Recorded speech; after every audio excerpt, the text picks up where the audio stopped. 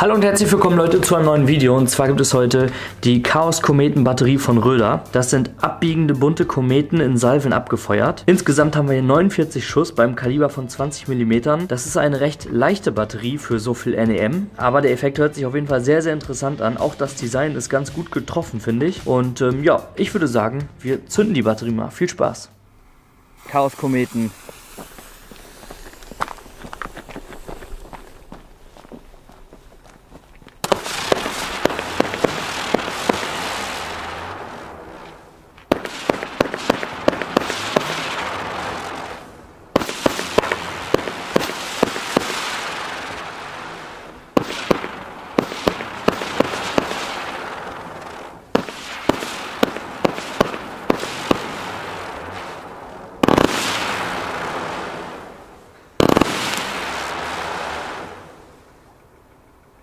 Wie geil, oder?